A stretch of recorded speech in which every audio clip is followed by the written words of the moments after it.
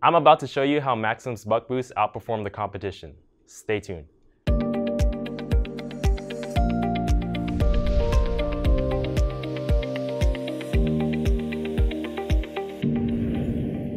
Hi, welcome to Design Shop. My name is Kevin Nguyen. I'm an applications engineer in the Mobile Power Business Unit here at Maxim Integrated.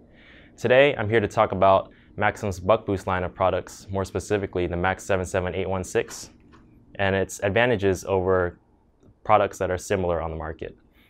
The MAX 77816 features both boost and buck modes of operation, targeting single-cell lithium-ion battery-powered mobile applications, and uh, for a, a, wide output voltage range between 2.6 volts to 5.14 volts.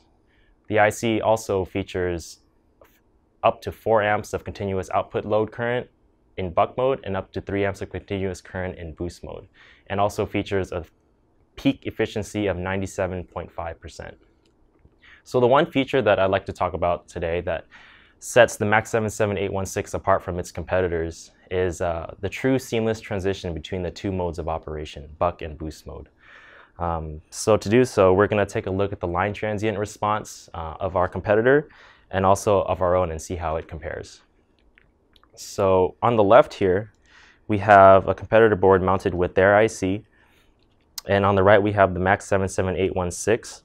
So with the line transient response, we're going to take a look at a, a pulse from the input between 3 and 4 volts. Um, so we'll take a look at that on the oscilloscope here once I trigger off the function generator. So as you can see, we're going to be going between 3 volts up to 4 volts. And I would consider this to be an extreme test for buck boost due to the fact that we're going to be transitioning between the two modes of operation.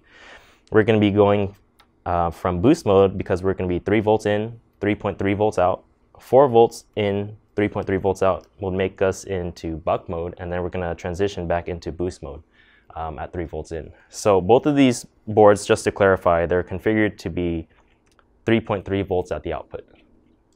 So let's go ahead and take a look at the, the line transient response of our competitor's board first. So we'll go ahead and uh, probe put channel 1 onto the output of our competitor's board. So let me go ahead and remove this so that we can probe it here. Come on. There we go. Let me make sure channel 2 is in at the input. And let's go ahead and take a look at the line transient response once I probe at the input. So on the oscilloscope, we can see an overshoot of about 66 millivolts and an undershoot of about 58 millivolts. Um, let's go ahead and take a look at the line transient response of the MAX 77816. So first off, let's go ahead and power everything off.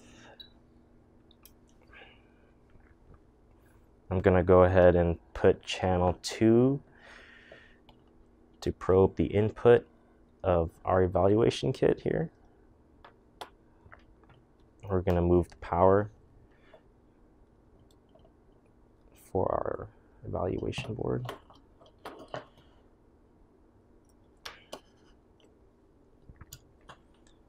And then we're going to go ahead and utilize the ground loop for this measurement. So one thing to note is that we're going to be probing the output with this ground loop, and it's an inferior way of probing the output voltage, um, but since I believe we're going to see a significant difference in uh, performance eh, regardless, uh, we'll just probe it in this manner.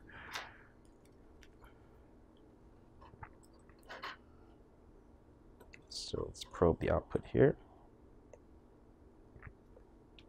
Okay. Now let's go ahead and take a look at line transient performance. So let me turn this on.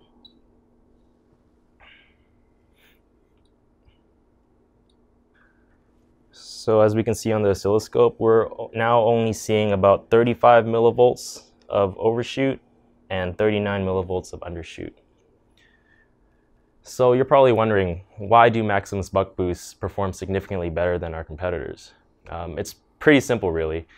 Um, our buck boosts uh, show minimal signs of overshoot and undershoot because our converter architecture allows for a cycle-by-cycle -cycle decision to be made to be in either boost mode or buck mode. And with only two modes of operation and a fixed frequency, switching frequency of 2.5 megahertz, the transient response is extremely fast. A lot of other buck boost architectures on the market have that third phase or, or bypass mode that uh, slows down the transient response, which overall degrades the system performance. So if you're ever considering a buck boost um, with top of the line transient performance, smallest solution size, and an overall highest efficiency across the entire input voltage range and load current range, there isn't really any competition. Um, not to mention, there's also an integrated I2C interface and DVS functionality. For more information regarding the MAX 77816 and other buck boosts similar to this, please visit maximintegrated.com slash max77816. Thanks for watching.